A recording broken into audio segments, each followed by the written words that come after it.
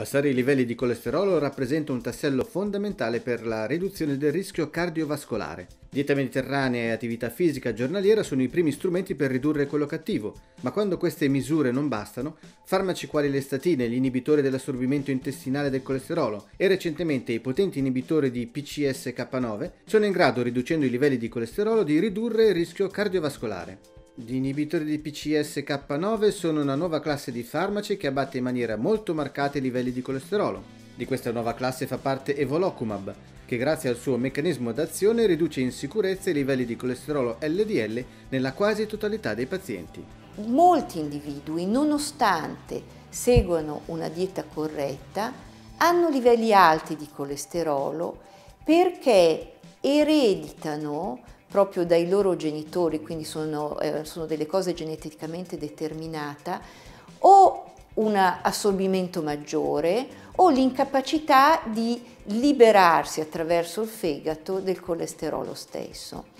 Fortunatamente negli ultimi 30 anni abbiamo avuto a disposizione dei farmaci per abbassare i livelli di colesterolo, le famose statine e più recentemente un altro farmaco, le zitimide,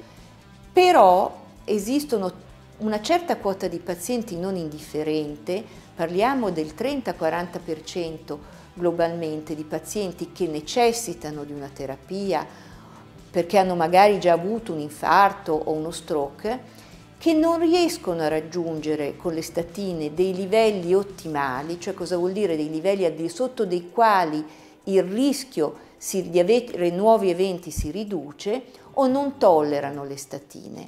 Negli ultimi due anni, e direi disponibili in Italia nell'ultimo anno, abbiamo avuto il vero passo in avanti attraverso le conoscenze della genetica. Si sono costruiti dei farmaci biologici, sono farmaci estremamente puliti, privi di effetti collaterali su fegato, rene, su muscoli, su tutta una serie di organi perché vanno proprio sul bersaglio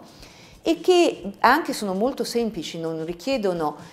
la, la pillola tutti i giorni, ma basta una semplice erogazione sottocutanea una volta ogni 15 giorni. Questi farmaci,